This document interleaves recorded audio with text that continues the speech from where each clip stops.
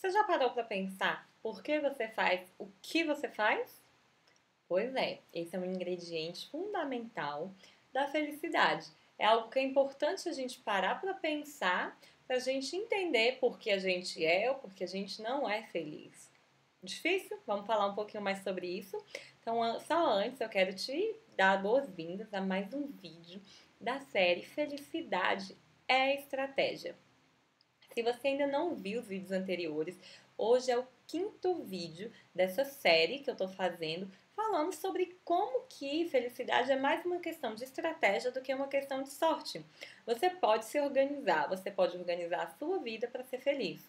Então, é, a gente vai falar um pouquinho mais sobre isso no vídeo de hoje, tá joia? A importância da clareza. Semana passada eu comecei essa série de vídeos falando dos três principais ingredientes da felicidade. Primeiro ingrediente fundamental para você ser feliz: gratidão. A gente pensa, na maioria das vezes, que a gente primeiro precisa ser feliz para depois a gente agradecer. No primeiro vídeo dessa série, eu explico como que na verdade é o contrário. Você primeiro agradece, depois você é feliz, tá? Nesse vídeo eu explico sobre isso. Dá uma roladinha aqui para cima, para baixo, não sei onde você tá vendo esse vídeo, mas dá uma roladinha, procura né, o, o vídeo Felicidade e Gratidão, que aí você vai entender melhor sobre isso, tá? Mas esse é o conceito. Gratidão precede a felicidade. Então, seja grato para então você ser feliz. Segundo ingrediente, clareza. E o terceiro ingrediente, relacionamentos saudáveis. Então, a gente precisa de relacionamentos saudáveis para a gente poder ser feliz. E eu também falei um pouco mais sobre isso no vídeo. Então, como que tá o esquema desses vídeos? Segunda, quarta e sexta, toda vez, né? Toda segunda, quarta e sexta eu tô publicando esses vídeos. Estamos na segunda semana. Semana passada, então, fiz esse esquema. Segunda-feira agora eu já publiquei sobre a gratidão, um segundo vídeo sobre a gratidão, dando três dicas para aumentar sua gratidão e aumentar sua felicidade. Três dicas diretas, diretas, práticas e rápidas de fazer, então você pode olhar o vídeo também, tá bom? E hoje eu vou falar um pouquinho mais sobre clareza, que é muito importante você é ter isso, você entender por que você faz as coisas. Isso é ter clareza. Então a clareza, a gente, quando a gente fala assim que a gente precisa ter clareza, que a gente precisa observar aquilo que a gente faz e entender o que a gente faz ou por que a gente faz, não é uma questão de julgamento, mas é uma, uma questão de observação, uma questão de entender aquilo para que a gente possa trabalhar aquela realidade, tá joia? Então, como é que a gente vai fazer isso? É, você vai começar a olhar duas coisas específicas, tá? Você vai começar a observar o que te faz feliz. Os momentos que você estiver feliz, se você lembrar disso enquanto você está se sentindo feliz, ou se não, mas você vai parar e pensar depois, você pode parar agora e pensar, né, nos momentos anteriores, o que te fez feliz? O que fez com que você atingisse essa felicidade, esse sentimento de satisfação, esse sentimento de alegria? Como que você chegou lá? Então, com a clareza, você vai conseguir tentar. A gente fala hackear. Hackear muitas vezes é um termo usado por um lado pejorativo, por um lado negativo, como se fosse algo ruim sempre, né? Mas hackear quer dizer entender, desmembrar tudo ali. Você vai saber como aquilo ali funciona. Isso é hackear. Então você vai hackear sua felicidade. Ah, eu fiquei feliz porque aconteceu isso, porque eu fiz isso, porque aconteceu aquilo. Então você vai começar a entender o que está por trás do dos seus maiores momentos de felicidade, daqueles momentos que te transformam, que transformam a sua vida. E aí você vai começar a ficar atento para isso. E você vai ficar atento e atenta também nos momentos que você fica frustrado, nos momentos que você está infeliz, que você está ansioso, que está deprimido. O que que disparou aquilo? O que que gerou aquilo, tá? Então, você vai hackear momentos bons e momentos ruins.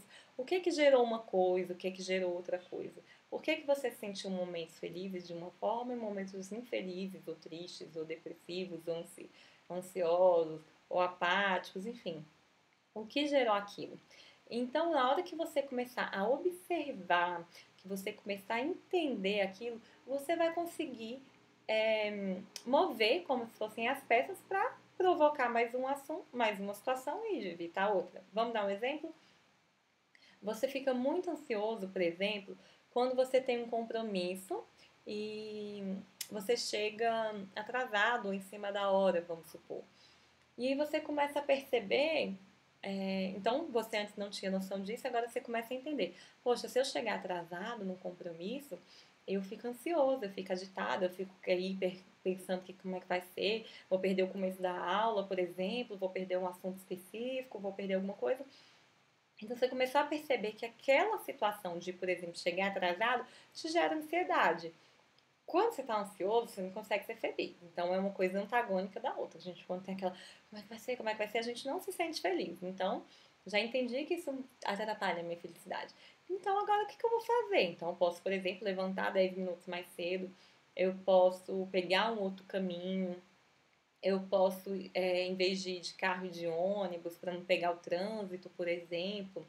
Então, entendendo que aquela situação me deixa infeliz, me deixa chateado, ansioso, triste, ou o que quer que seja, eu posso arrumar meios de resolver aquilo ali. Entendeu? Então, eu estou hackeando para o meu bem, eu estou entendendo, estou tendo clareza de uma situação para que eu possa é, controlar ela no que for possível. Lembrando que a gente tem uma mania enorme, péssima, de querer é, controlar a vida dos outros. Então a gente quer que o fulano faça aquilo, a gente quer, ah, mas eu fico triste porque o fulano não fez aquilo, o fulano não fez aquilo outro, ou eu estou feliz por causa do outro e tal. A gente precisa parar, uma coisa que a gente vai pensar na nossa clareza, por que, que a gente bota tanto a nossa felicidade, a nossa gratidão, ou a nossa infelicidade nas mãos do outro. Então, como que eu posso tirar das mãos do outro a minha felicidade? Então, eu posso construir a minha felicidade sem depender do que o outro vai pensar ou não. Se eu fico feliz, por exemplo, num momento de lazer, um momento de tranquilidade, eu não preciso esperar pelo meu marido, pelo meu filho, pelo meu cunhado, pela minha mãe, por quem quer que seja, para fazer isso. Eu posso construir, eu posso ir, eu posso convidar, se não quiser ir, não vai, mas eu vou. Posso convidar outra pessoa, por exemplo, para ir comigo, né? Uma amiga, é, alguém que, por exemplo, tem muito tempo que eu não vejo. Isso é muito legal da gente fazer, tá bom? Então, quando você tem clareza é, sobre o que te faz feliz e sobre o que não te faz feliz, isso te ajuda também a entender melhor o seu conceito de felicidade. Isso te ajuda a entender melhor é, o que te deixa bem, o que te deixa mal, para que você possa bolar estratégias para resolver aquilo. Então não é só simplesmente, ah, fico triste quando eu pego, quando eu chego atrasado no meu compromisso. Mas e agora? O que, que eu posso fazer com isso? Lembra que o tema da nossa série é felicidade e estratégia? Qual a estratégia que você vai bolar para você ser feliz? A minha estratégia é diferente da sua. Então não tem como eu dar estratégias prontas aqui. Eu posso te dar exemplos, te dar coisas para você pensar, porque a sua felicidade só você pode construir tá bom? Só você pode construir, só você pode destruir, digamos assim, tá? Então, vamos tirar o poder da nossa felicidade da mão dos outros, trazer isso para nossa vida e entender o que me faz feliz. O que me faz infeliz? Quais situações que me gerem isso? E só uma última dicasinha, assim, detalhezinho que pode fazer toda a diferença. Não pare na primeira resposta. Então, você vai ter uma tendência a perceber a primeira coisa, é, ah, então é isso cave um pouquinho mais, pense em segundas, terceiras, quartas, quintas opções, porque sempre vai ter algo a mais. Sempre vai ter algo além para você. Então, ah, por que, que eu fico triste quando meu marido hum, chega atrasado? Aí você vai perceber uma coisa. Então, tá, a situação do marido chegar atrasado me deixa triste. Mas por quê? Ah, porque eu espero que ele seja pontual, porque assim ele está me valorizando. Mas por quê? que, que tem além disso? Ah, porque é, pontualidade para mim é sinal de respeito. Mas por quê? Entende? Assim, vai cavando um pouco mais, você vai chegar sempre respostas que vão surpreender. Não pare na primeira resposta, não pare na primeira solução. Cabe mais. Ah, eu posso. Então, simplesmente levantar mais cedo para não chegar atrasada. Sim, é uma opção, mas eu posso também, outra opção, por exemplo, é, pegar outro, outro, outro caminho, é outra opção. Posso ir de bicicleta, é outra opção. Posso ir de carona, que já vou com os amigos conversando, já vou feliz, é outra opção. Entende? Então não pare na primeira resposta, dê um passo além, busque mais, conheça mais, tá joia? Então é isso.